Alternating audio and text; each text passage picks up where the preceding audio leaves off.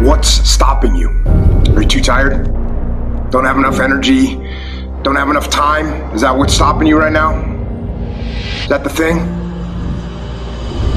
Or is the thing that's stopping you you?